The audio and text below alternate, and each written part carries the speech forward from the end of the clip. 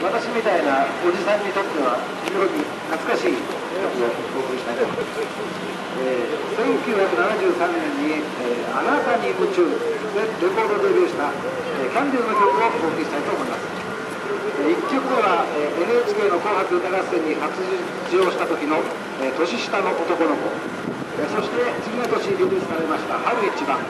え3曲目は私の大ファンでしたミキちゃんがセンターで歌った「罠」最後はえ初のオリコン1位となりましたシングル「ご本音返し」これをメドレーでお送り出します。どうぞお聴きください。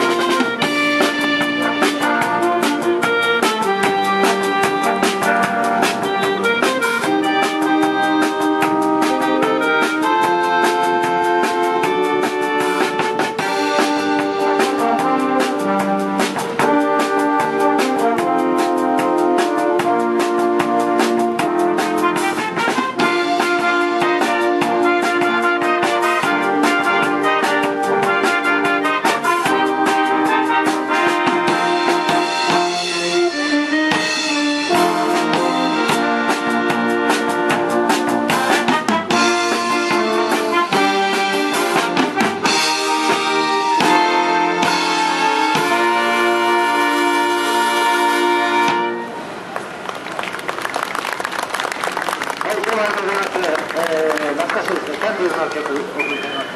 なんか私に近い年齢の方が、なんかニコニコしながら聴いておられるのが非常に印象深かったです。ご来館の皆様へお知らせします。私ですね、スーパーアイドル、キャンティーズマンクをお送りいたしました。